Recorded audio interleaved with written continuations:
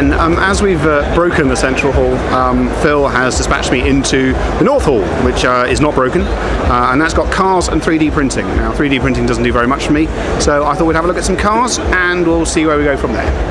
I would pay literally some money to watch someone trying to manoeuvre this around the villages where my parents live. It is, well, it makes the Bentayga looks like a matchbox car. It's just absolutely ridiculous. Um, you know, as I say, we're now some seconds into this. I'm, I've struggled about halfway around it. Uh, I mean, despite the sheer vastness of it, it seats four, obviously. And um, presumably you can use that engine to restart a planet if you needed to. But, uh, yeah, good start. Now, in sharp contrast to the enormous pickup truck, this is very small, must be said by the standards of American customization, very subtle and it ah it I don't know how well it's coming out on the video, but it is absolutely bloody lovely. Also, it's not gonna hang around. If you see down here, um, it's got a 2.4 litre um, version of the Volkswagen Type 4 engine with a Porsche 911 turbo gearbox. The chances are it's not going to hang around. And it's a proper split screen as well. Um, you know, I don't get as excited about these things as true Volkswagen fans, but this is indisputably a lovely thing. I mean, it's probably got some audio. Oh, look, it's got some audio in there. I shall diligently point in and go, there you are. But really, I'd get rid of that because you want to save some weight and go even faster. But yeah, I, I, I could find house room for that. Just so you know, your future, in all senses of the word, are these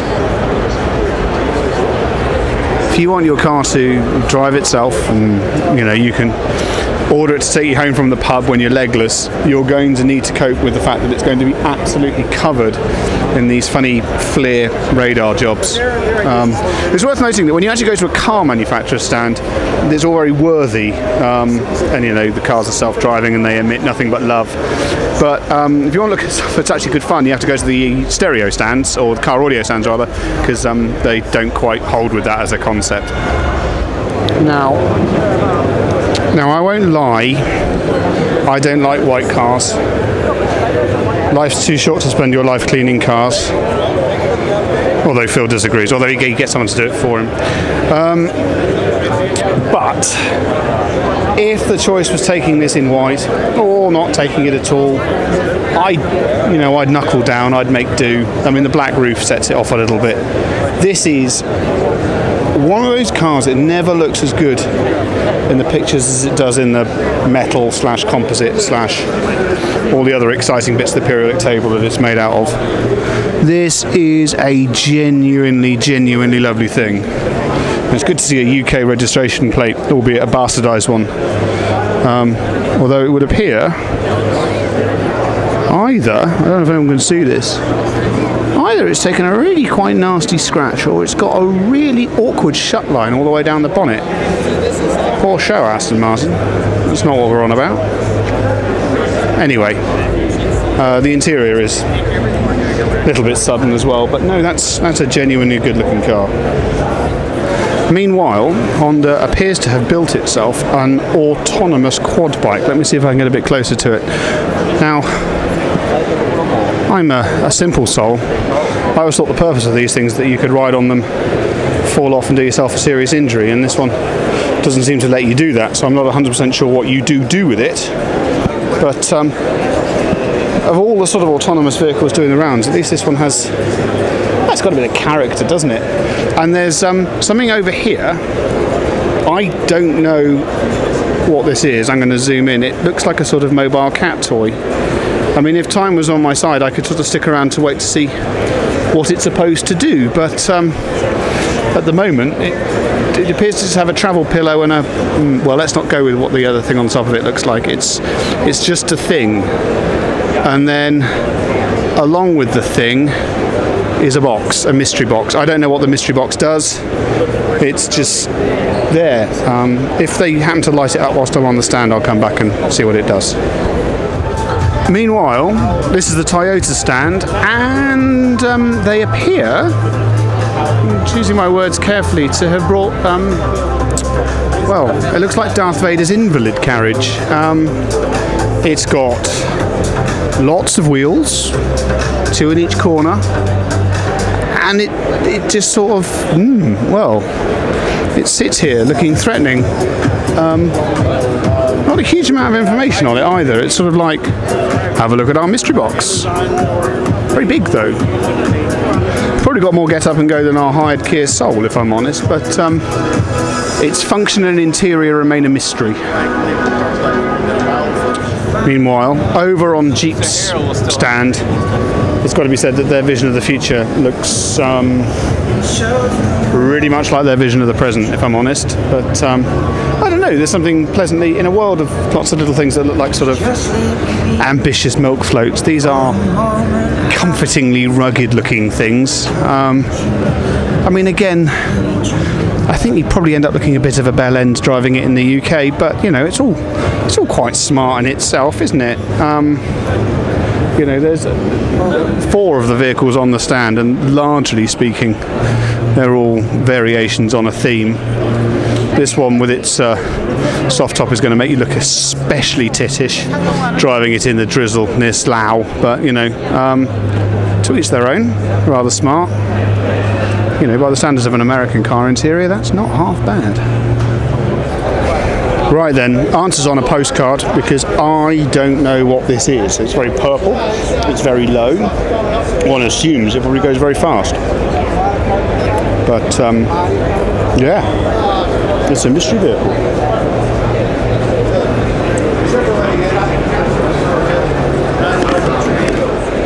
Well, it took a while to find one, but here it is. Here's a Mustang in um, that's sort of the colour of Angel Delight, really, isn't it? Um, Boss 302. They're usually reasonably nippy. It's uh, probably not going to do terribly well in a speed bump ridden environment, but um, yeah, it's quite nice, isn't it? It's uh, going to induce terror in large swathes of the population here because look, it's got this device which is linked to a pedal under the steering wheel, and you have to use the two of them in sync to actually change the gears in the car. How radical is that?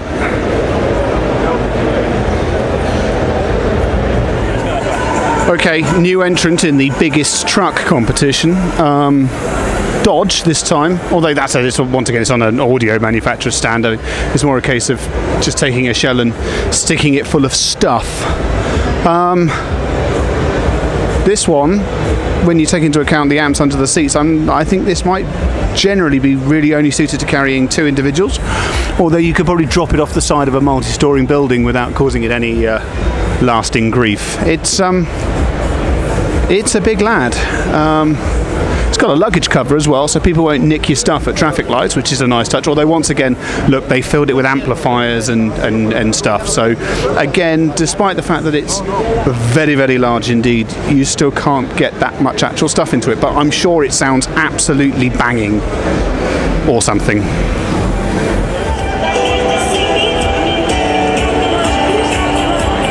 Good news, darling. I um, decided that we didn't need any boot space at all.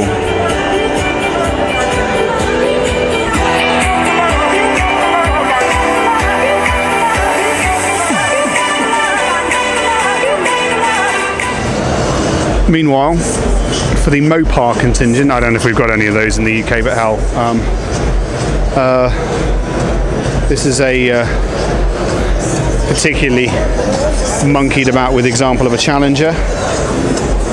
Um, it's rather touching belief on the part of uh, a certain school of performance tuners that uh, simply lowering the tits off it and putting it on giant wheels is going to make it somehow perform better. Although that said, I don't think it's going to hang around looking at the state of that. Vibrant. Noisy, I think will probably be more accurate, but um, yeah, quite special. Again, probably going to work better here than, say, I don't know, High Wycombe. Tucked away around the back of one of the stands, new NSX. And it's the first time I've seen a black one because I don't think someone please feel free to correct me on this, that you can buy the Honda as opposed to the Acura version that you see here in uh, black. And I think it looks pretty damn good in black. This is a properly, properly lovely thing. And I like the fact that as it's made by Honda, the chances are that it will realistically never, ever, ever go wrong.